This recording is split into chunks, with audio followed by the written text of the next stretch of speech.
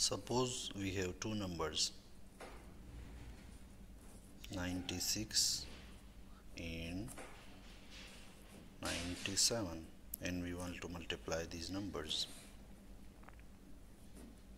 In another example if we have two numbers 92 and 98 and we want to multiply these numbers. So what is the trick?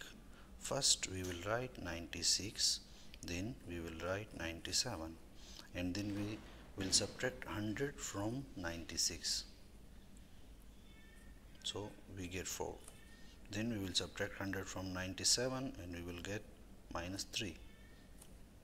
now we will multiply minus 4 and minus 3 which is 12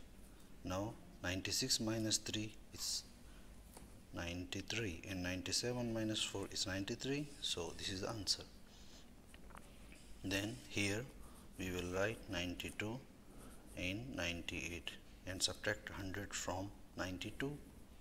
we will get minus 8 and then we will subtract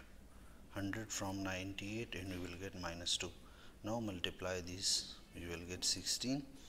and 92 minus 2 is 90 or 98 minus 8 is 90 so this is the answer now you can multiply big numbers like this with this simple trick